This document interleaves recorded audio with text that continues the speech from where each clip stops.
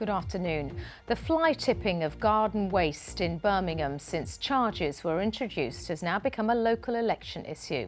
In February, the Labour-controlled City Council brought in an annual £35 fee for the curbside collection of green waste as part of its efforts to save £102 million in last year's budget.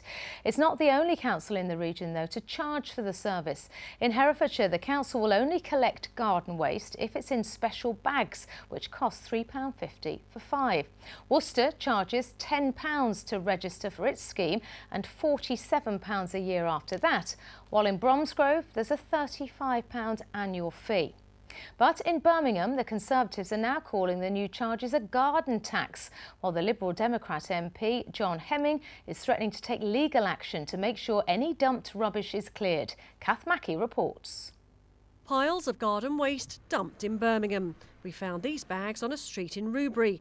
And standing beside them, an angry Conservative politician demanding the Labour run City Council stop charging people to collect their grass cuttings.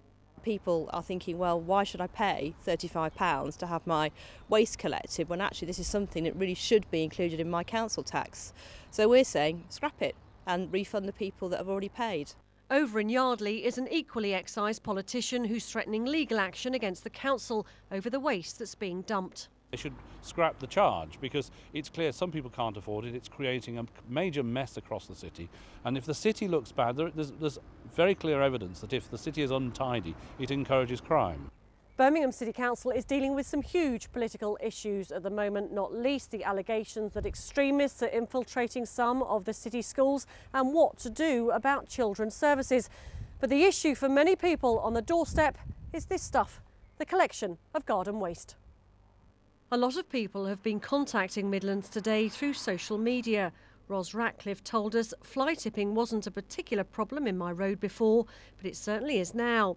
Many agree with one viewer who said that charging for collection of green waste is ridiculous, while another felt if you've got garden rubbish, pay for it. This is what cuts look like in Birmingham, yes, and, and and we still have a further 300 million pounds to cut out of the city council's budget over the next couple of years. It's, it's going to get even more difficult, I'm afraid. As I say, I don't welcome that for a moment, but equally I don't deny it. And it's our job as a council to face up to that situation, be honest with people, and do what we can with the money we have available.